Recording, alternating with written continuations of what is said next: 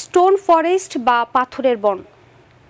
সাতাশ কোটি বছরের পুরনো ক্ষয়িষ্ণু চুনা পাথরের বনটি চীনের ইউনান প্রদেশের পাঁচশো বর্গ কিলোমিটার এলাকা জুড়ে বিস্তৃত। দেশ বিদেশের পর্যটকদের আগ্রহের জায়গা এখন এই পাথুরে এলাকাটি।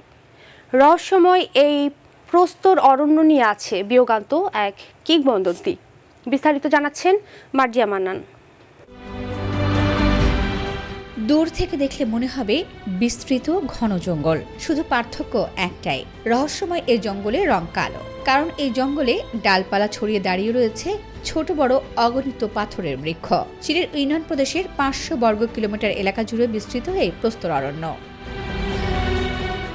সাতাশ কোটি বছরের বেশি প্রাচীন বিস্ময়কর এই বনের পুরোটাই চুনাপাথরের। তাই এই জঙ্গলে প্রবেশ করলেই তাজা চুনাপাথরের গন্ধ পাওয়া যায়। এই অরণ্য সাতটি অঞ্চলে বিভক্ত। এর মধ্যে রয়েছে জলপ্রপাত, দুটি বিশাল হ্রদ, প্রাকৃতিক গুহা এবং এই পাথরের জঙ্গল।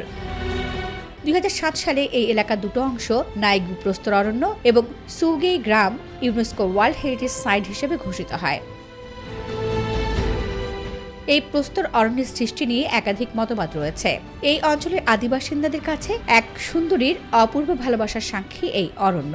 অসীমা নামে ওই তরুণীর ভালোবাসা নাকি পরিণতি পায়নি। তাকে অভিশাপ দিয়ে পাথর করে দেওয়া হয়েছিল।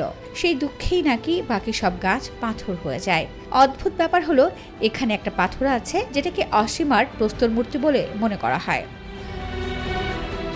তবে ভূবিজ্ঞানীদের মতে, একসময় গভীর জলাশয়ের নিচে নিমজ্জিত ছিল এই পাথরগুলো। ক্রমে পানির স্তর নামতে শুরু করলে জঙ্গলের মতো পাথরগুলো মাথা চাড়া দিয়ে ওঠে। প্রতি বছর ষষ্ঠ চন্দ্রমাসের চব্বিশ তারিখে এই এলাকার বাসিন্দারা এক বিশেষ উৎসব পালন করে। তাদের লোকনৃত্য এবং কুস্তি পর্যটকদের কাছে বিশেষ আকর্ষণ। Marsia Mannan, My TV.